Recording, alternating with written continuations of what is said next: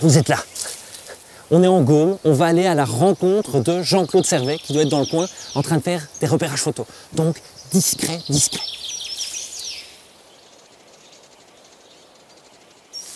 Bon, on laisse le maître travailler et nous on est parti pour une nouvelle saison explosive.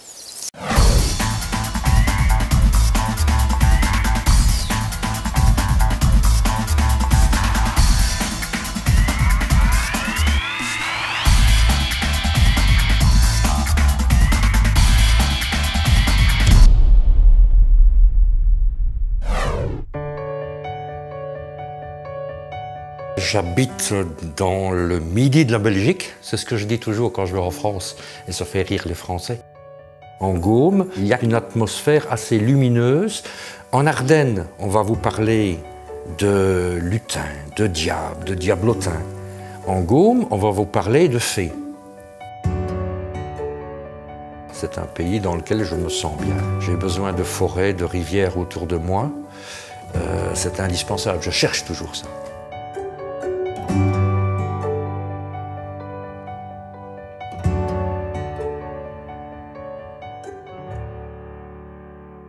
J'ai commencé euh, par les cartes blanches.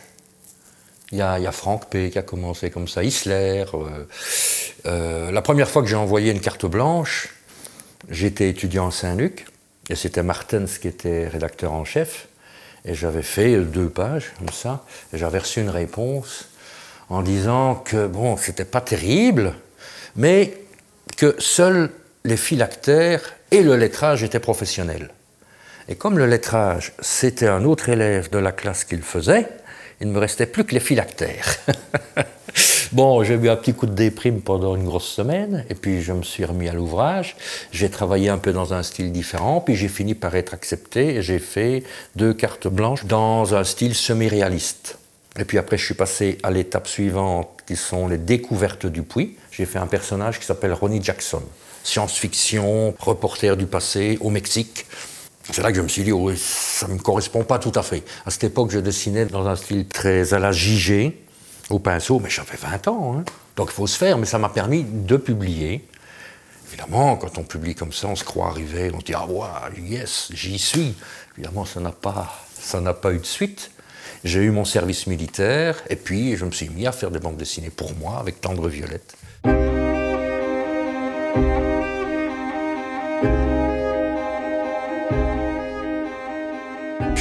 Quasiment à 200 km de Bruxelles. Euh, fin des années 70, il n'y avait, pas d'ordinateur, il n'y avait pas d'Internet. Euh, pour se documenter, c'était très difficile, on n'avait pas grand-chose. Euh, j'étais un petit peu loin de tout et je me demandais comment j'allais pouvoir m'en sortir, mais je voulais absolument rester ici. Ça a donné ma force à partir du moment où je me suis dit, ben, pourquoi est-ce que je ne raconterais pas des histoires de mon pays? J'avais des livres j'avais des vieilles photos, des cartes postales. Euh, à cette époque-là, les éditions du culot ont sorti beaucoup de livres sur l'Ardenne autrefois, sur les contes, sur les grands bandits d'Ardenne, sur l'histoire. Il, y, a énormément de choses. Et tout ce côté euh, fantastique, merveilleux en plus, euh, je me suis mis à imaginer des histoires euh, dans un premier temps, avec un professeur de français qui s'appelle Gérard Dewam, que j'ai rencontré à l'occasion de mon service militaire. Lui était du village ici au-dessus, et il avait une voiture, on faisait la navette ensemble, on a discuté de BD et de notre pays, parce qu'il était fort ancré aussi dans le pays. On a fait les premiers les premiers pas de tendre violette sur une table d'infirmerie, euh, ici, euh, aux casernes du côté d'Arlon.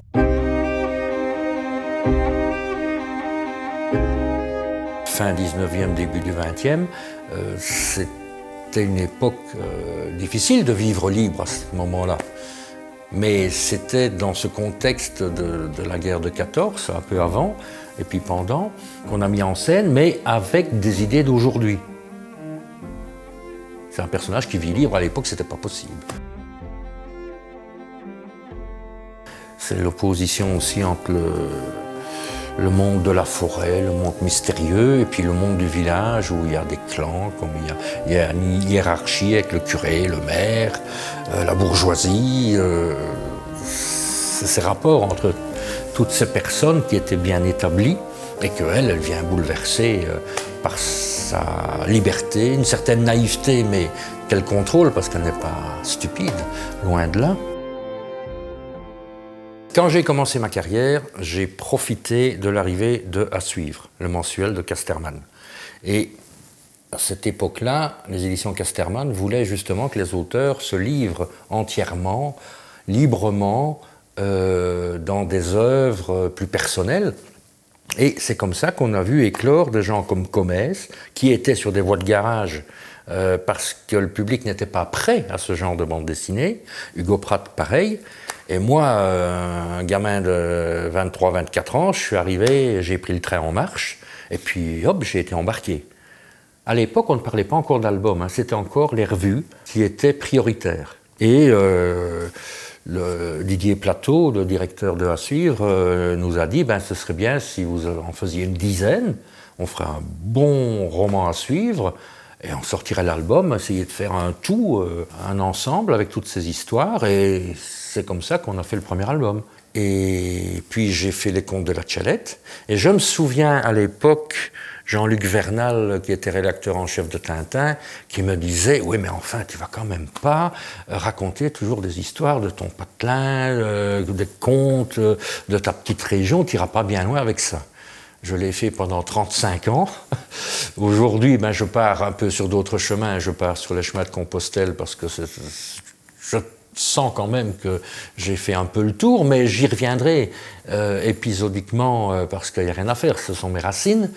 Et à partir de cette matière première que je trouve ici, mais, tout à côté de chez moi, j'ai fait une histoire avec des enfants juifs qui avaient été cachés euh, dans un château. On voit le château du fond de mon jardin. Hein.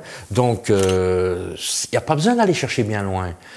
Il y a peut-être autant d'évasion que d'aller au Mexique. Euh, que d'aller en Sibérie, que d'aller, je sais pas, ici il y a tout, il y a le merveilleux, l'historique, la nature, les animaux, la forêt, les grands espaces. Et il y a moyen de jongler avec ça. même si je suis parti sur les chemins de Compostelle depuis 2-3 ans, euh, sans la démarche est la même, sauf que je prends d'autres décors, hein, c'est toujours un peu le même schéma. Euh, je n'abandonne pas mon public.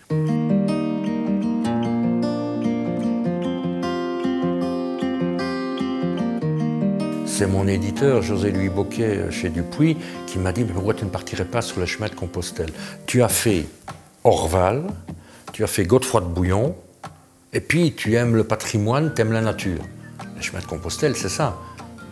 Et partir comme ça avec mes personnages, c'est comme si moi j'allais découvrir la France.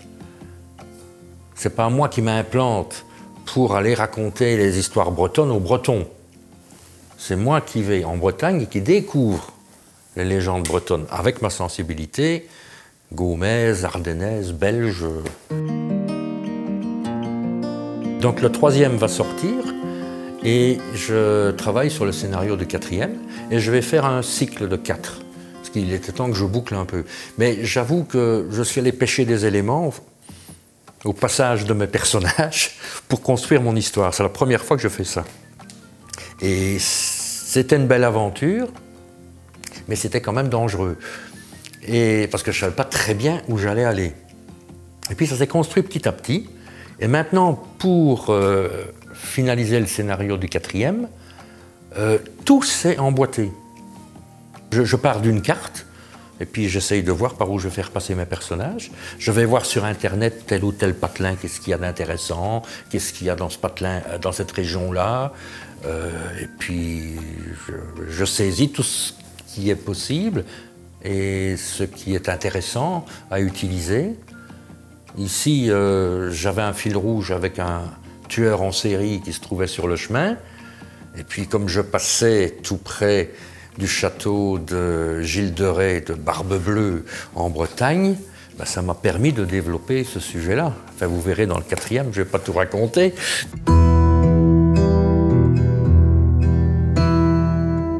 Ce que j'aime bien en tant qu'auteur complet, c'est de pouvoir passer du scénario au dessin. Quand je suis scénariste, je mets ma casquette de scénariste. Et je ne travaille pas dans mon atelier de dessin. C'est vraiment deux choses différentes.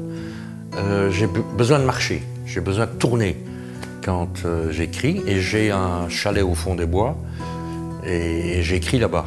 Tandis que quand je dessine, c'est un peu euh, le cockpit de pilotage. je suis coincé à ma planche à dessin, euh, j'ai des tables autour de moi, je mets ma documentation, je ne bouge pas beaucoup. Je vais mettre deux mois pour écrire et je vais mettre euh, neuf bons mois pour dessiner. Après, j'irai faire des repérages photos sur les lieux où se déroule l'action. Un peu comme au cinéma, hein, aller faire des repérages sur les lieux où je vais tourner mon film, c'est un peu ça. Et puis après, euh, ben, je suis parti pour euh, presque un, euh, oui, pour 10 mois de dessin pratiquement. Ben, je, m'intéresse à, la, bande dessinée, donc j'admire le dessin de Gibra fait à l'aquarelle, c'est quelque chose d'extraordinaire. J'ai vu une exposition d'originaux à Blois. Ben oui, on reste muet devant ça, c'est extraordinaire. Euh, quand on voit le travail des autres, euh, on se sent des fois un peu tout petit, euh, parce que se, regarder soi, souvent on voit ses erreurs, on voit ses, défauts, et, moi je suis toujours déçu quand je vois mes dessins. Sauf de temps en temps, une affiche ou l'autre, ou une couverture dont je suis content. Si je la regarde pas trop, parce que sinon je vais toujours trouver un petit défaut au bout d'un moment. Mais j'aime bien découvrir de, nouveaux dessins, de, dessinateurs qui, ont du, talent. J'aime bien le côté graphique. Hein. C'est quand même quelqu'un qui me marque beaucoup dans la bande dessinée actuelle. Blast, voilà, ça plombe. Hein. Mais alors, quand on est pris là-dedans, euh, non, c'est un grand monsieur. Là. Franchement, euh, quand on voit euh, ce qu'il a pu faire, c'est du vrai, de l'authentique c'est pas du superficiel, du prétentieux. Là, ça reste encore un auteur euh, authentique, c'est un grand.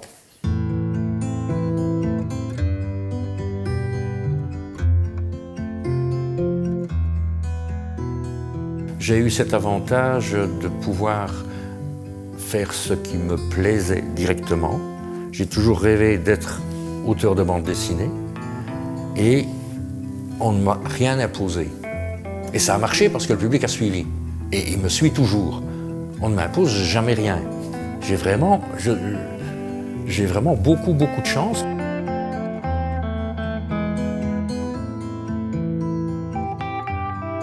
Quand vous êtes euh, tout seul devant une feuille de papier et que vous arrivez à faire vivre un personnage, raconter des histoires, et que les gens vous en parlent comme si c'était une vraie histoire avec des vrais personnages, dites que vous êtes un peu magicien quand même, avec euh, un simple crayon, de, pouvoir euh, créer des choses. C'est ça qui est extraordinaire.